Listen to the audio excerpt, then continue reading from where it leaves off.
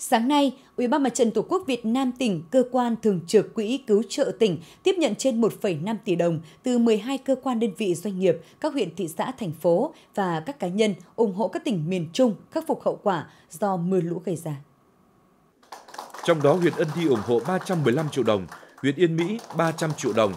huyện Kim Động 300 triệu đồng, huyện Tiên Lữ 205 triệu đồng, thị xã Mỹ Hào 200 triệu đồng, Ngân hàng Nông nghiệp và Phát triển Nông thôn Việt Nam chi nhánh Hương Yên 2 80 triệu đồng, công ty Mai Hương Yên công ty cổ phần 50 triệu đồng.